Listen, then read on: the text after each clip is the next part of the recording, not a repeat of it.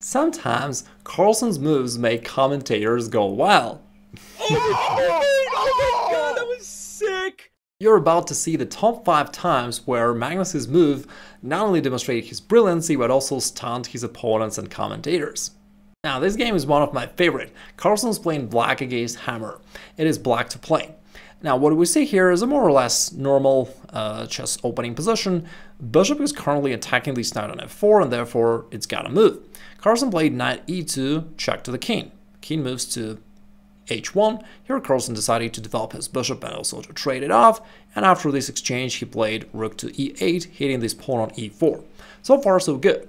But his opponent noticed that this knight on e2 is nearly trapped and has no way out, and he decided to punish Carlsen for playing this light-hearted move. So he played bishop e3 first, giving up this pawn on e4, because then he wanted to go rook e1 and pick up this knight on e2.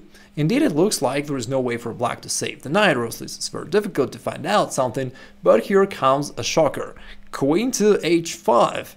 And all of a sudden, Carlsen sacrifices his queen, and white just resigned. It turned out that after the forced pawn takes, there is this beautiful checkmate along the h-file, and notice that this annoying knight on e2 takes away the square g1, which helps black to deliver the stunning checkmate. In the second game, Carlsen is still playing black, this time against Fabiano Caruana. It was white to play, and white played knight to h6, check to the king. Carlsen played king to g6, and here Caruana took on a6. He definitely expected Carlsen to take over here, this knight, and after that, Fabi would capture the pawn on f6, and the game would reach to a draw. But instead, shockingly enough, Carlsen refused to take the knight, and he just grabbed the pawn. Rook takes d2, or sorry, rook takes c3. Now, looks like now this knight is alive, right? So white go king to d2. But here Carlsen played the move which is the key point of his idea, rook to c8.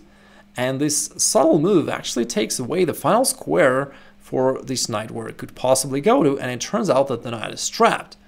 Now, in this case, Caruana should have played g4 trying to free up the knight. And in that case he would probably achieve a draw although it's still tricky, but in the game he played a more natural move king to e3 and after rook to h8 he just resigned because there is literally no way for the knight to go to, all these squares are controlled by black. And so after capturing the knight black will simply be two pawns up in an endgame. And for Carlsen that's enough to win. And here's the position I showed you at the beginning of the video, which made commentators go wild. Now, let's look at it once again, it's a lot of fun. Oh my god, that was sick! So what could make solid chess commentators scream in ecstasy? Let's figure it out together. Now, at this point, we can see a fairly solid endgame position, and you would expect probably white to try to push his pawn forward, and black would either try to stop it somehow, or maybe to counterattack, like putting the rook down here and attack the pawn, or maybe putting it down here and check the king. Anyway, looks like just a boring endgame. But Carlsen played a tricky move rook to f8. Caruana apparently did not realize what's the point of this move at all, and he just continued with his own move, rook to d3, attacking this pawn, and for a moment it even looks like white missed something because it's unclear how to defend this pawn. But here came the shocker rook to e4 and all of a sudden, instead of passing pawns forward, the game ended in this amazing checkmate. Alright, we're approaching the winners. The fourth game was played by Carlsen playing white against Karjakin playing black in their World Chess uh, Championship match. It was black to play, and black played a natural move queen to f2, aiming for queen to g2 checkmate. Now, it looks like white's gonna need to defend it somehow, play queen g3 or something like that, but instead Carlsen played rook c8 check, Karjakin said okay, king h7, fine, now not only I'm threatening queen at g2, but also queen f1 or rook to a1, so am I winning here? But Carlsen said nope, queen h6. And this queen sacrifice came out of nowhere, and strangely enough it leads to checkmate in all the variations. If the king takes, here comes a rook to h8, delivering this kind of boxed, interesting checkmate.